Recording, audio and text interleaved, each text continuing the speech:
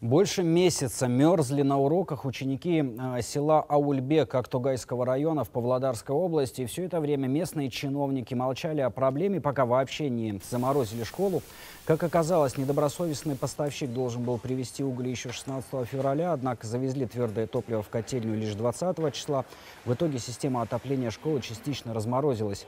Разбор полетов на месте устроил глава региона, назвав ситуацию примером чиновничьей бюрократии непредусмотрительности.